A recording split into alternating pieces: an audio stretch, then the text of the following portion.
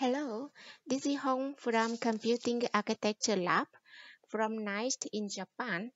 Today, I'm going to talk about asymmetric cryptography, one of the key technology we use to secure the blockchain network. Okay. Yeah, firstly, let's go to the basic idea. Do you know about the postmail? Yes, I guess the answer would be yes. Yes, in postmail, uh, I take it an example to explain about the honor relationship between a human with the letters. So in the postmail, we have public address like your house address, uh, for example. A public address is used so that the other people can send you a letter. Okay. And then there is a private key so that the owner can open the mailbox to get the letter inside. So in this case, if anyone keep the private key, they can open the mailbox to see the content inside. It means that you are the owners of this letter. Okay. Similarly to this uh, idea, the asymmetric crypto is used in blockchain to protect the owner relationship. Okay, so when you join a blockchain network and if you create an account, it means that you are running an asymmetric cryptography algorithm to generate two keys. Key we can say is as the public key and the other key is known as the private key. The public key is equivalent to the mailbox address and private key is equivalent to the mail, mailbox key secret key, the secret key to open the mailbox. Okay, the characteristic of these two keys is like this. If you're using a key to encrypt the data, you can use the other key to decrypt that data and vice versa. For example, in here, if we have the message hello world, if we use the public key to encrypt this message, here. Then we can use the private key to decrypt this message to see the original information hello world. Okay. And again, if you use this hello world information and use the private key to encrypt the hello world, then you can use the public key to decrypt the message to see the original information hello world in here. Okay, that is the characteristic of the asymmetric cryptography. Now, let's see how the asymmetric cryptography is used in blockchain. There are two uses case. The first is public to private key. So in this case of usage, it's similar to when you use the postmail. It means that the data will be encrypted by using the public key of the receiver. And then at the receiver, the receiver will decrypt the data by using their own private key.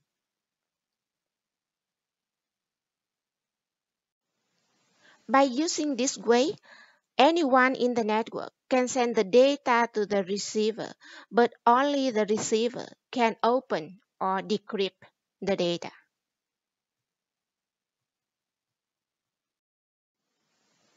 Here is more detail. Now we have a plain text and if we want to send this message to someone, we use the public keys of that person to encrypt the plain text data to become a ciphertext.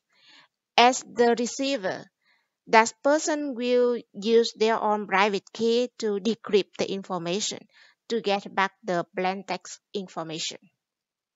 Okay, do you get it? And another use case is private to public. So this case is similar to the digital signature. So you know that when you send someone some information, you need to cite in the letter that you are the real person that sent this message, not the other one, right? You need a signature. So this signature is important to so that the receiver know that uh, this is not this is not a fake message from someone else not you. So and uh, in this case so for example when you send a data message you will create the hash of this message and this hash will be encrypted by using your own private key. And the date the result will become the digital signature. And you attach this digital signature together with your message and send to the receiver. At the receiver he or she will verify your message by doing as follows. So firstly yes the receiver will uh, get the message and compute the hash of the message to get the result. And in another way, he's also get your signature and decrypt the signatures by using your public key, the sender's public key.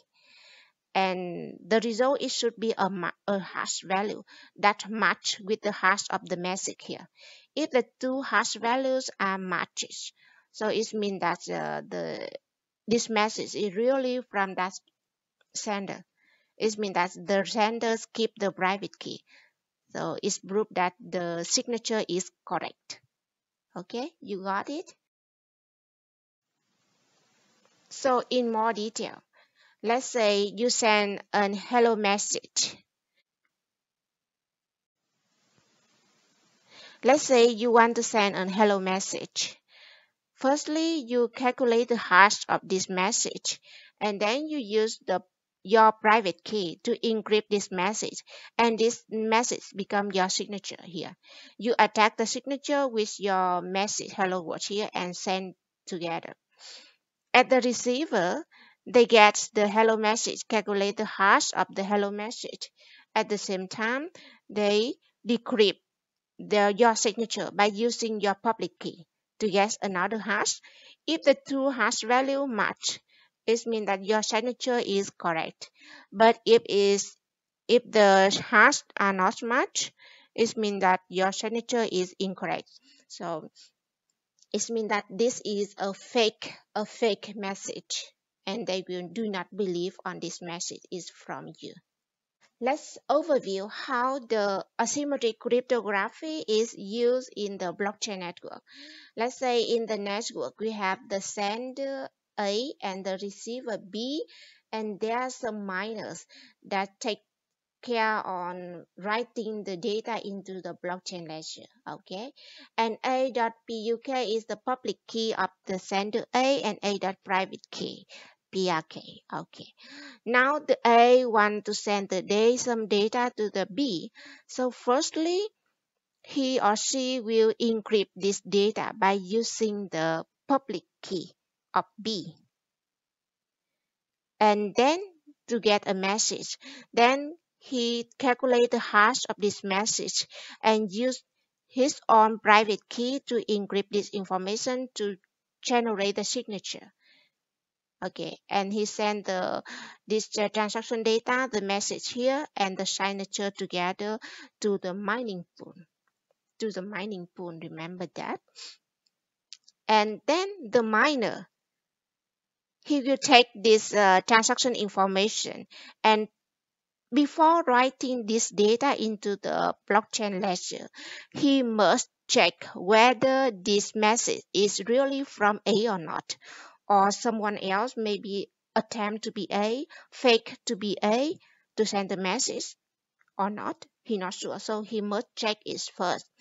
To check it, will he get back this message and then calculate the hash of the message and check the signature by decrypt the signature information using the public key of the sender A here. And if the results are uh, matched, it means that the signature here is correct. Okay, and if the signature is correct, he will try to write this information, transaction one here, into the blockchain ledger here. Okay, you got it. And at the receiver side, the receiver B here will get back the transaction 1 here, the information that A sent to him, and using his own private key, B private key, to decrypt the data to get back the original data that A sent to B. That is how the asymmetric cryptography is used in blockchain network. And here, this is the sender size for transaction. And this is a miner verified for the signature. And this, this case of using Recon is the public to private because we use the public key to encrypt and use the private key to decrypt. And this is, signature is we call it private to public uses case because we use the pri private key to encrypt the data and use the public key to verify the signature to decrypt the data. Okay, you got it? Okay, let's say about some popular asymmetric cryptography algorithm that we're using nowadays. The first one we must uh, take, uh, we must uh, talk is the RSA, Rivest Shamir Adleman. RSA algorithm. The RSA algorithm uh, is uh, using by most of the blockchain network nowadays. And the others algorithm you can be Diffie-Hellman, key chain, Elliptic cryptography, Paillier crypto system, and so on. So you can check about more detail about this algorithm uh, in the internet, in the Google, and many ways. That's all for our lecture today. If you have some question or comments, please uh, send me some emails or comment below this video. Thank you so much for your listening.